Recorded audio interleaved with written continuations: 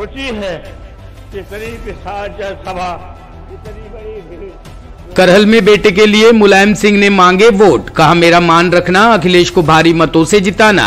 Samajwadi party के संरक्षक एवं पूर्व मुख्यमंत्री मुलायम सिंह यादव ने इस विधानसभा चुनाव में पहली बार अपने बेटे अखिलेश यादव के लिए चुनावी प्रचार किया। उन्होंने करहल में गुरुवार को जनसभा को संबोधित करते हुए कहा कि यहाँ लोग उम्मीद के साथ आए हैं, ये उम्मीद सपा की सरकार पूरा करेगी।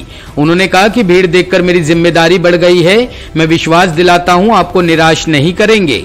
मुलायम सिंह यादव ने अपील करते हुए कहा कि मेरी भावना का मान रखना और करहल से अखिलेश यादव को भारी मतों से जिताना।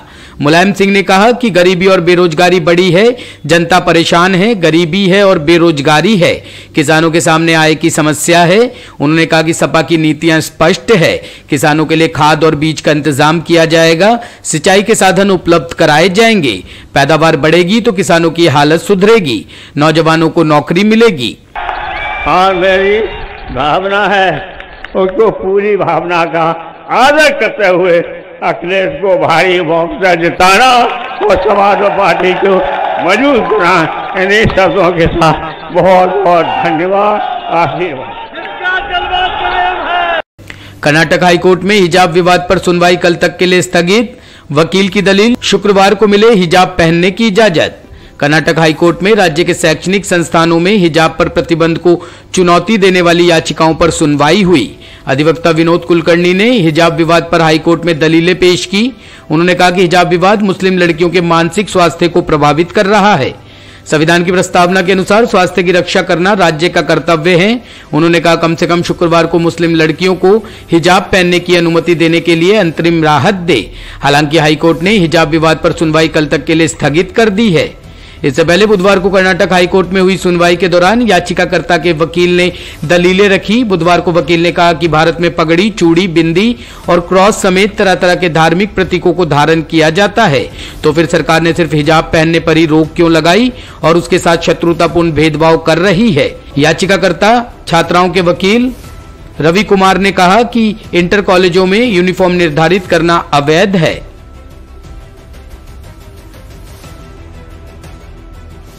कुशीनगर में मांगलिक कार्यक्रम के दौरान कुएँ में गिरे 30 लोग 13 लोगों की मौत। कुशीनगर के नेबुआ नौरंगिया थाना क्षेत्र के नौरंगिया गाँव में बीती रात करीब 10 बजे कुएँ पर रखा स्लैब टूटकर गिरने से 30 लोग कुएँ में गिर गए। हादसे में दो महिलाओं और 11 अन्य जिसमें बच्चे, किशोर, किशोरी, युवक, युवती शामिल है की मौत हो गई। घटना के समय सभी लोग एक परिवार में हल्दी की रस्म के उत्सव में चल रहा डांस देख रहे थे। कई थानों की फोर्स रेस्क्यू ऑपरेशन कर बाहर निकाला। उक्त थाना क्षेत्र के नौरंगिया के स्कूल टोला निवासी परमेश्वर कुशवाहा के पुत्र की बृहस्पतिवार को शादी है। वैवाहिक रस्म के क्रम में महिलाएँ हल्दी की रस्म अदायगी के दौरान गाँव में स्थित कुआँ पर मटकोर करने गई थी। उनके साथ बच्चे भी गए थे। इसके बाद कुएँ पर बने ढक्कन स्लैब पर खड़े होकर वे लोग डांस देखने लगे। इसी बीच स्लैब टूटकर कुएँ में जा पड़ा। बच्चे समेत महिलाएँ कुएँ में गिरकर दब गए। घटना की सूचना मिलते ही कोहराम मच गया। सब लोग घटनास्थल की ओर दौड़ पड़े। इस बीच पुलिस ने ग्रामीणों की मदद से रेस्क्यू कर सबको बाहर निकाला। इसमें डेढ़ घंटे लग गए और तब तक काफ़ी देर हो चुकी थी। 11 घायलों को जिला अस्पताल लाया गया, जहाँ उनको मृत घोषित कर दिया गया। इधर कोटवा सीएससी में भर्ती दो बच्चों ने भी दम तोड़ दिया। सीएमएस डॉक्टर एस के वर्मा ने बताया कि पाँच से पच्चीस वर्ष के नौ लोगों की और दो महिलाओं की मौत हो गई है। अन्य घायलों का इलाज चल रहा है। एक दुखद हादसा हुआ। ये नौरंगिया टोला गाँव में एक पुराना कुआँ था, जो पहले से स्लाब से ढका था। और उसके ऊपर कुछ महिलाएँ और बच्चे बैठे थे। एक शादी का कार्यक्रम था। उसमें वज़न ज़्यादा होने के कारण वो स्लैब टूट गया और उसके ऊपर जितने लोग बैठे थे, सब लोग कुएँ के अंदर चले गए और मलबा उनके ऊपर गिर गया था। और उनको फिर अस्पताल लेके गए थे, बट रास्ते में ही और ब्रॉड डेट वो था। अभी तक यहाँ पे ग्यारह बॉडीज़ यहाँ पे मार्चोरी में हैं और सारे महिलाएँ और बच्चियाँ हैं। और दो की हालत वहाँ गंभीर बताया जा रहा है।